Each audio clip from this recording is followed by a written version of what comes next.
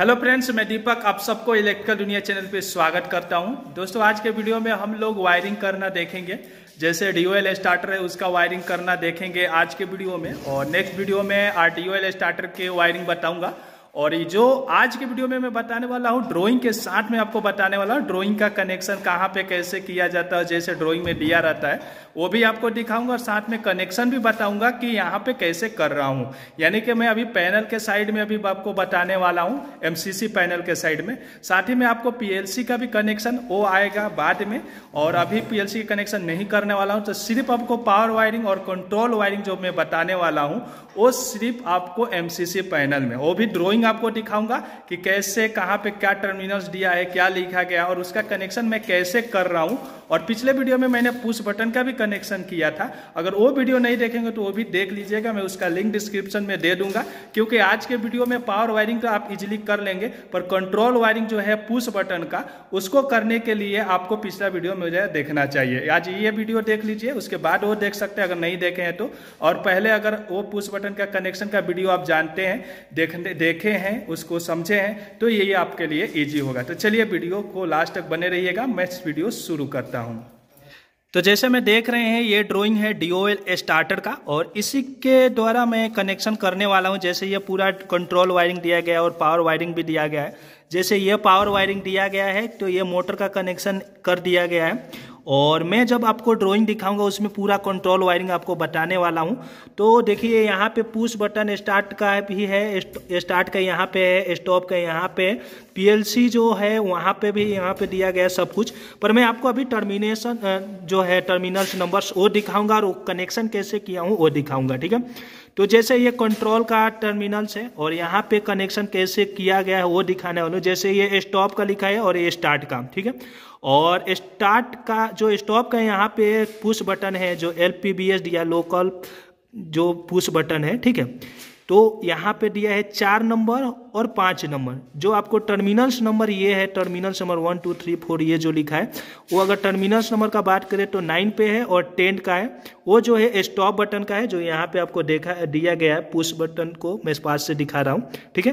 तो चार नंबर और पाँच नंबर पे जो है स्टॉप बटन का मैं कनेक्शन करूँगा और छः और सात नंबर जो फिर उस नंबर रहेगा, जो टर्मिनल्स नंबर ग्यारह और बारह, उस पर हम स्टार्ट का करने वाले हैं कनेक्शन ठीक है? मैं बाद में आपको ये पूरा डिटेल्स में बताऊँगा, इसका कंट्रोल वायरिंग पावर वायरिंग सब कुछ समझाने वाला हूँ। आज के वीडियो में सिर्फ़ मैं अभी कनेक्शन कर रहा हूँ, जिसकी वजह से मैं आपको सोचा कि ये ड्रॉइंग जो है, उसको देख के मैं बताता हूँ, ठीक है? जैसे यहाँ पे फेरुल नंबर याद कर लीजिए, पाँच छः स्टॉप का सॉरी चार, पाँच स्टॉप का और छः सात जो है स्टार्ट का है, ठीक है?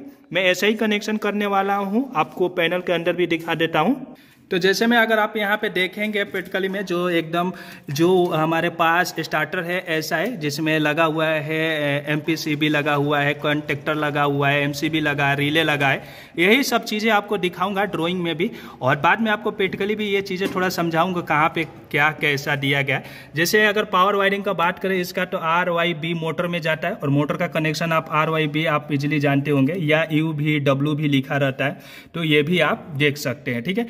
तो ये जो हमारा कनेक्शन है, ये मोटर में जाके कनेक्शन हो गया है। और जो पुश बटन का मैंने स्टॉप बटन का कनेक्शन और स्टार्ट बटन का कनेक्शन किया था, वहाँ पे मैंने आर और वाई को जो कनेक्शन किया था स्टॉप बटन में किया था और ब्लू और ब्लैक जो था, ये स्टार्ट बटन के लिए था, ठीक है? तो यहाँ पे अगर देखेंगे, जब टेस्टिंग भी होता है तो उस समय इसको लूप कर दिया गया है कि जब स्टॉप बटन लूप नहीं रहेगा उस समय अगर आप स्टार्ट भी करते हैं, इसको प्रेस भी करते हैं तो ये स्टार्ट नहीं होगा फीडर इसका क्यों नहीं होता है? इसका जब ड्राइंग में बताऊँगा, उस समय आप देख सकते हैं। और जब मैं कंट्रोल वायरिंग आपको पुश बटन का जब मैं बताया था, वहाँ पे भी समझाया हूँ।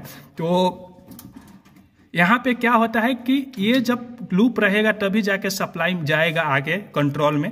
नहीं अगर लूप रहेगा, यानी कि इसको हटा देते, उस समय अगर स्टार्ट करेंगे तो नहीं होगा। ये टेस्टिंग के लिए उस समय लूप लगाया गया था, ठीक है? तो जैसे फेरू नंबर का मैं बात करूँ तो चार, पाँच और छः और सात ये है, ठीक है? अगर आप ध्यान से देखेंगे तो सब कुछ आपको फेरू नंबर यहाँ पे देखने को मिल जाएगा, ठीक है?